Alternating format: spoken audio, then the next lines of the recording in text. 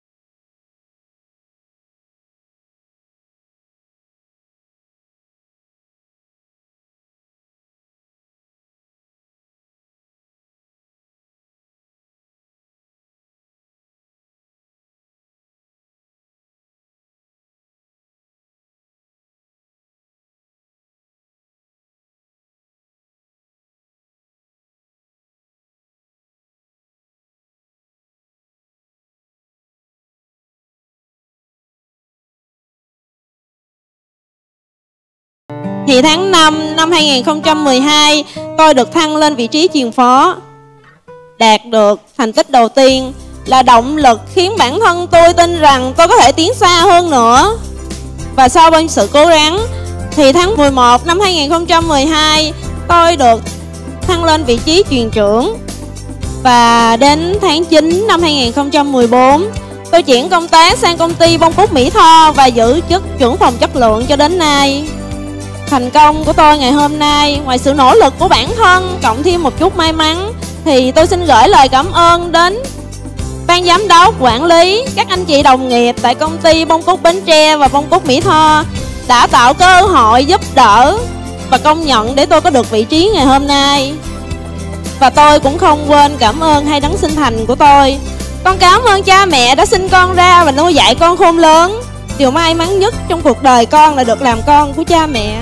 Tôi cũng không mong các bạn lựa chọn việc kết thúc việc học quá sớm. Vì bây giờ bản thân tôi khi nhìn lại tôi vẫn tiếc cho mình.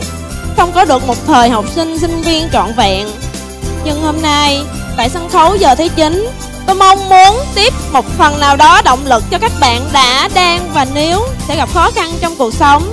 Các bạn hãy nhớ rằng sự phấn đấu hôm nay của bạn sẽ là thành công của bạn trong tương lai đó là hai câu chuyện trong chuyến xe cảm xúc tuần này Liên Phương và Huỳnh Như đã gửi tới cho chúng ta.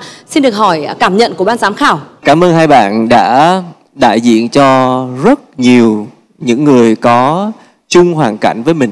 Bạn Như thông qua cái câu chuyện này thì mình dù tin chắc rằng là rất là nhiều người họ cũng đã nhìn thấy được cái điểm sáng và cái điều quan trọng nhất mà bạn mang lại cho chúng tôi đó chính là tự tin về bản thân mình và cái giá trị này mới chính là cái giá trị tuyệt vời nhất à, cảm ơn à, bạn à, như còn đối với bạn liên phương bạn vẫn đặt những cái viên gạch nhỏ nhất, từng bước từng bước một ở trong cuộc sống độc lập cá nhân của mình, để làm sao chứng minh cho gia đình và tất cả những người xung quanh biết được rằng là bạn không bỏ cuộc và Minh dù cầu chúc cho bạn sẽ luôn luôn đạt được những cái điều mà bạn lựa chọn một cách nhanh nhất và thành công sớm nhất.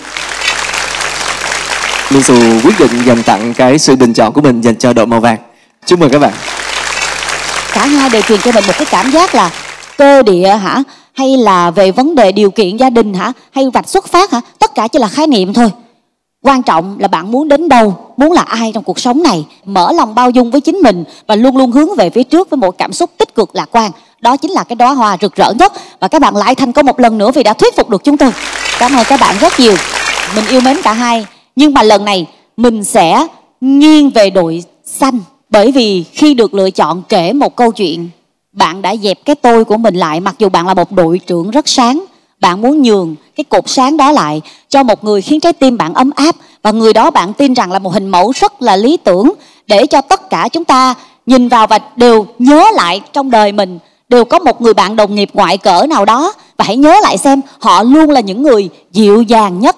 Họ luôn là những người hay nhường cho mình và bảo vệ mình nhiều nhất. Hai câu chuyện của các bạn rất là hay đối với huỳnh như thì là những cái sinh hoạt, cái sự quan tâm, cái sự chia sẻ của đồng nghiệp, của à, người thân, của gia đình, của của cả xã hội. Con người phải có những cái kỹ năng, phải có cái sự tôn trọng nhau và cái sự quan tâm, sự chia sẻ. Tôi đánh giá rất cao câu chuyện của huỳnh như. Câu chuyện của liên phương thì à, cũng là một cái bài học cho mọi người. Ước mơ thì đã có nhưng không, chưa thực hiện được nhưng em lại phấn đấu cái con đường của em em có một con đường riêng, nhưng em lại thành công. Cái việc học ấy là học cả đời, mà việc học để lập nghiệp, để lập thân và em đã thành đạt. Tôi đánh giá rất cao cái sự truyền cảm hứng, câu chuyện của liên phương và cái lá phiếu của tôi là dành cho liên phương. Xin cảm ơn.